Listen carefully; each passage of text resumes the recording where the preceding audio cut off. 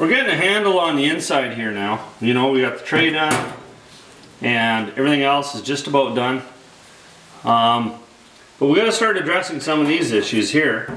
We got a couple holes, got one there, but I wanna make this little recess here. So I'm gonna, I'm gonna replace this whole piece here. Cause there's quite a few deep, deep pits in here. And it's gonna be hard to weld anyway. But we replace that whole piece right there and then I'll cut another chunk to replace this. But first of all, we gotta gotta make this. These are the fun parts. This is this is what makes you know fixing rust kind of fun, you know, because you gotta be creative and build a panel. But I think we can do it. Let's get at her. So this is the little jig that we built here and uh, my brother was using this to build some floors for his Fords. So I'm just going to lay this down, we're going to clamp it very tight to the groove. Now we got a couple different tools we use, we got this one that's rounded. And I think I'm going to use this guy here because the grooves here are going to be uh, kind of squarish, so I'm going to give this a try. It's just a piece of square metal. And we'll just slowly tap it down and form us a groove. I think it's going to work. Center this the best we can. We'll clamp her down.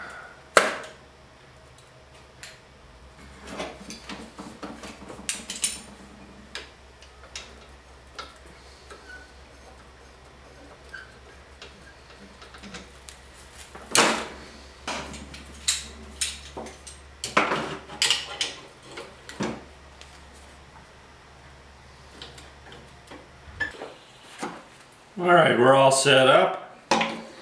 Now we just got to kind of keep this centered as we can. And then we're just going to tap along.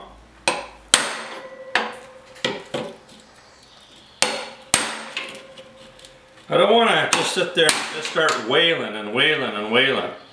You know, we're not, we're not trying to save the world here. We're just take our time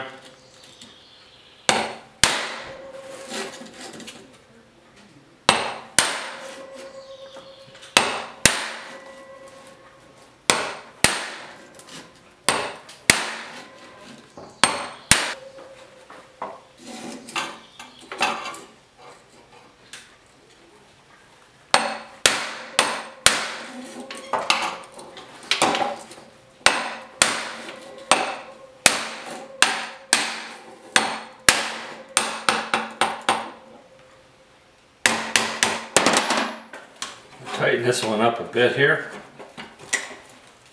Yep.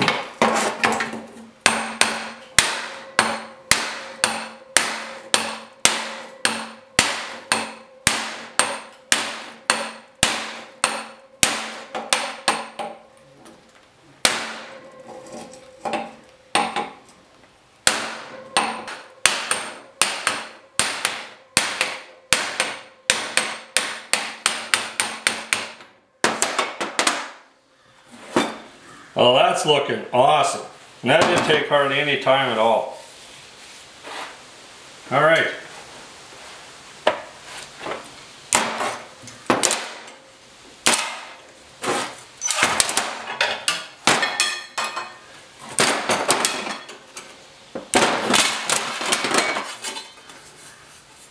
That's almost perfect.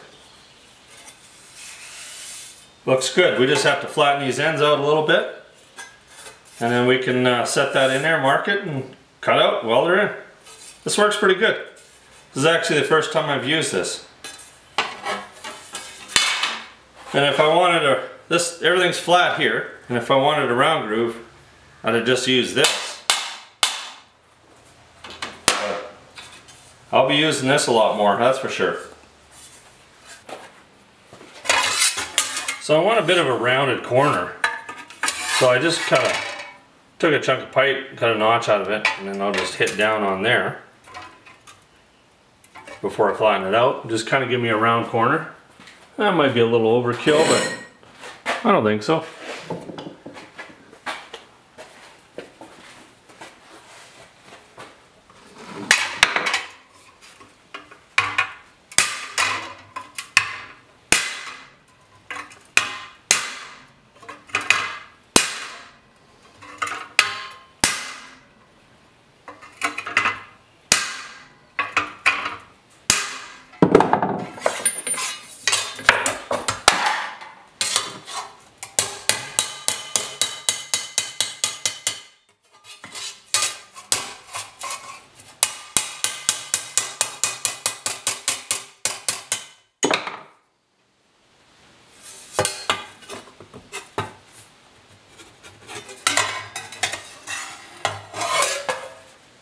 Nice rounded corner.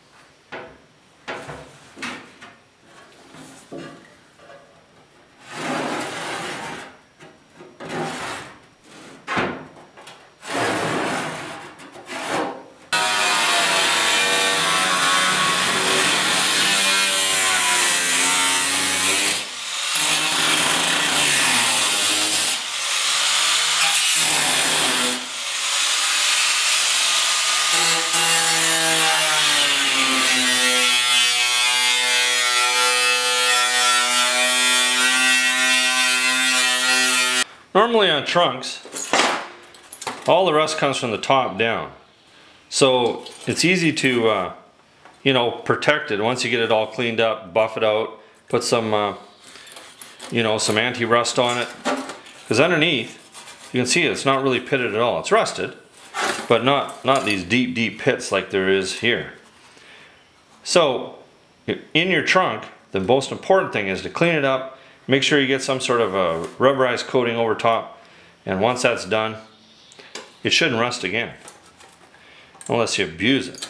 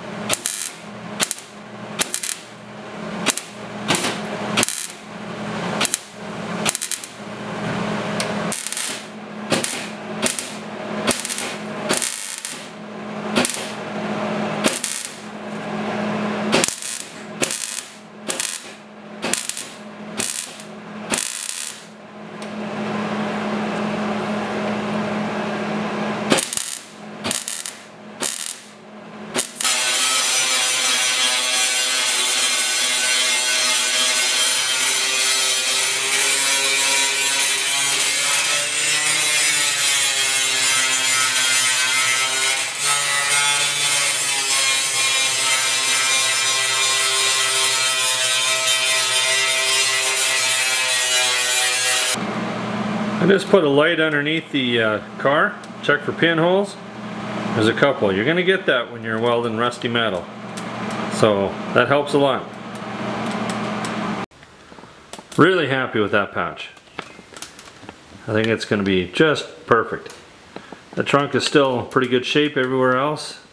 You know, we got some pits, but like I said, we just uh, need to fill them with some sort of a rubberized something or other, and it'll all be good. Looks just like original.